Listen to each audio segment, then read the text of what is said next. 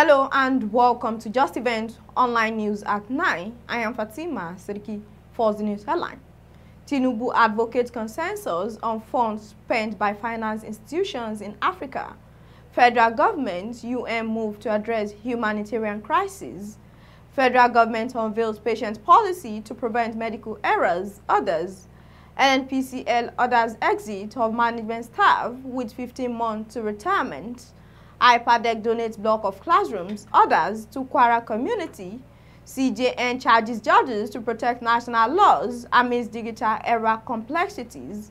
Nigeria needs 20,000 schools to absorb out-of-school children, UBEC says. 40,000 people on antiretroviral drugs in Kaduna, NACA reviews. Sports Minister hails Amusan Brume on Diamond League success.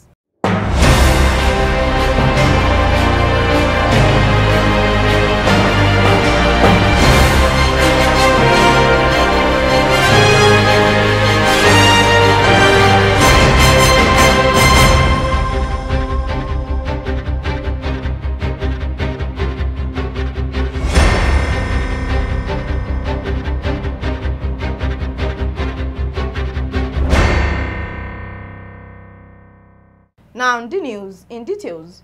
President Bola Tinubu has said Africa must have a consensus view that the hundreds of billions of dollars spent through international development finance institutions over the years must meet the specific needs of developing democracies in Africa, even if it is done with exclusive regard for their own enlightened self-interest. He stated this on Monday during an extensive bilateral discussion with South African President Cyril Ramaphosa in New York City. The federal government and the United Nations are finding lasting solutions to Nigeria's humanitarian crisis. Minister of Humanitarian Affairs and Poverty Alleviation, Dr. Betta Edu, said the global organization had expressed satisfaction with government's willingness to adopt a coordinated approach to the challenge.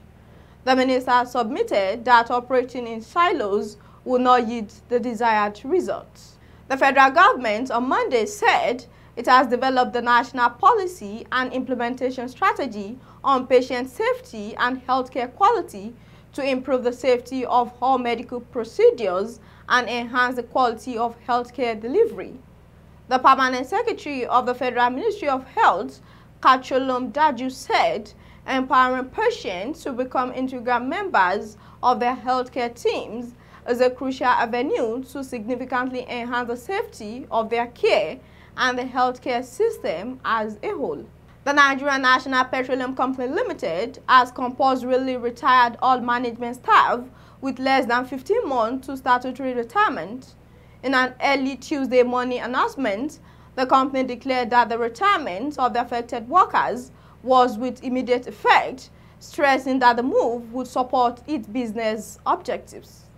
As part of efforts to ensure human civilization and development, the Hydroelectric Power Producing Areas Development Commission on Monday donated blocks of three classrooms, offices, and learning materials to Government Secondary School Jeba, Moro local government area of Kwara State. The area officer of HYPPADEC Engineer Aliyu Temim said, education is a critical priority for Nigeria as it is for any nation serious about growth and development. He noted that the project was aimed to aid the learning activities of the students, stressing that the environment in which students learn and study has an impact on their productivity. He urged school management to make judicious use of the facilities and other learning materials donated. Oba of Jeba, Oba Abdelkadri Adebara, ably represented by Prince Ibrahim Adebara, commended HYPPADEC for its commitment towards educational development in the community. He added that the remarkable gesture would contribute towards the growth and development of students. He equally urged the community to prioritize the school so as to achieve its purpose. Speaking on the benefits of the newly constructed classrooms, the principal of Government Secondary School Jeba, Pastor Adejuma Ayodele, maintained that the new blocks of classroom will create conducive environments where students can learn and also develop knowledge that will help enhance their education pursuits. She assured the Commission of maximum usage of the education equipment and facilities. Chief Justice of Nigeria, Justice Olukayode Ariwoola, has called on judges to protect Nigeria's law in the face of the complexities the digital era has brought on the administration of justice. The CJN said the judiciary was obliged to embrace the transformation occasioned by information communication technology while ensuring that doing justice remains at the forefront of its efforts. The Universal Basic Education Commission has revealed that Nigeria needs an additional 20,000 schools and 907,769 classrooms to be able to absorb the growing number of out-of-school children in the country.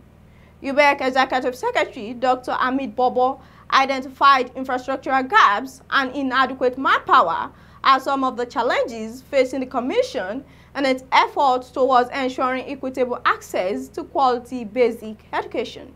The Director General of the National Center for the Control of AIDS, Dr. Gambo Aliyu, has disclosed that over 40,000 people are on antiretroviral drugs for the control of HIV in Kaduna State.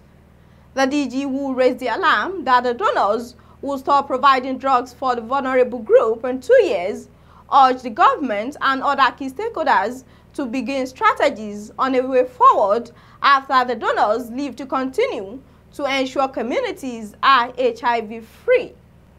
The last on the news is sports. Minister of Sport Development, Senator John Owan Enoh, has congratulated Tobi Amusan and Ese Brume for their outstanding performance at the 2023 Diamond League, Diamond League in Oregon, U.S. He stated that the victory was a beautiful way for Amusan to wind down on athletic season. The minister also aided Nigerian long jumper Ese Brume for our silver medal achievements in the long jump event at the competition.